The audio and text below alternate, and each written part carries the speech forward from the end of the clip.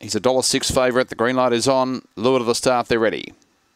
Racing, Cass's Belly came out okay, showing early speed was Mighty Ebby, driving across was Desert Flyer, and the big fella Cass's Belly's camped right on them, swung a little bit wide on the first corner as they go to the back, and Mighty Ebby is the leader, out by two lengths, Cass's Belly to the outside, then followed in turn by Desert Flyer as they stride down the back, and Cass's Belly went swoosh, race clear, out by four lengths on Mighty Ebby, then followed by Desert Flyer as they swing. See you back in the showers, boys. Cass's Belly's nicely clear, races away, wins by 10 lengths. Second goes to Mighty Ebby and Desert Flyer. Last of all, they've stopped the clock at 29.99.